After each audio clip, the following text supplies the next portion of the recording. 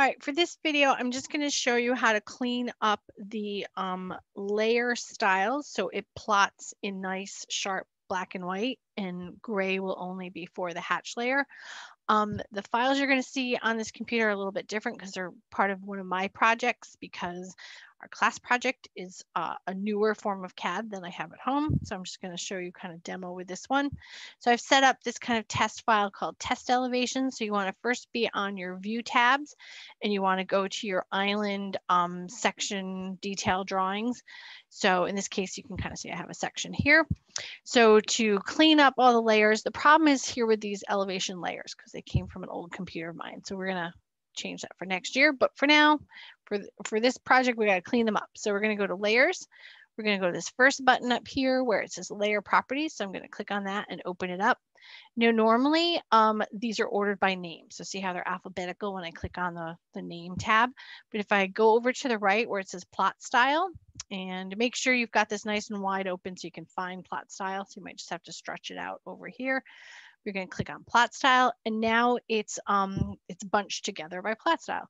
So to, you can click on them and do it one by one, or you can do shift and then click on this bottom one and you'll have the whole set of them.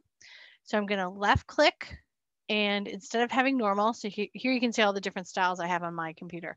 You want a full saturation. This is the kind you want for Adobe PDF in our classroom. So you're going to click OK and then make sure everything's full saturation. You can go way down at the bottom. Anything that's 50%, in this case, this hatch and the screening is what um, poches the walls, that's correct. So leave those by themselves, but everything else should be full saturation. So we're gonna close that up, save that. Then you also wanna make sure this is the same on your sheets because it doesn't always roll over from the view to the sheet. So I'm going to click on the sheet. Here I have a test sheet set up and actually I'll just drag my view in there now. So there it is there. Oops, it might be somewhere way out far. We'll play with that later. But to do the same, let's see. Oh, you know what? I never saved them. Here we go. We're going to control S, save. Then we're going to go back over to the sheet and now it should have something in it to just bring over just so we can see it there. There it is. Okay. Oh, it's huge. My scale's a little bit too big. This project we're printing out for the client is on a smaller piece of paper. All right, so we're going to put it there just so you can see it there.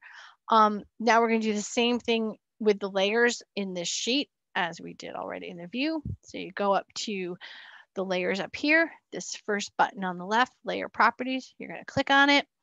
Again, you want to order it by plot style. So you're going to go over to the middle, click on plot style, and now again, all these normals, you want to change to full saturation. In your case, I think there's only four or five of them. Mine has more because there's more going on in my these drawings here. I'm going to click, oh, I gotta get that one too. And then I'm just going to left click on the word normal. And then I'm going to scroll down until I find full saturation and say okay. And that's going to replace that.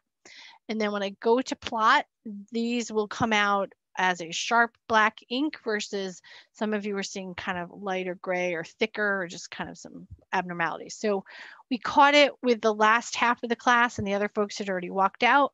So watch the video, update your files, replot them, I'm sorry. And then um, submit them by midnight on Wednesday, the 21st. Um, if you have any questions in between, feel free to shoot me an email because like I said, this was my fault for not catching this with everybody in class earlier. Thank you.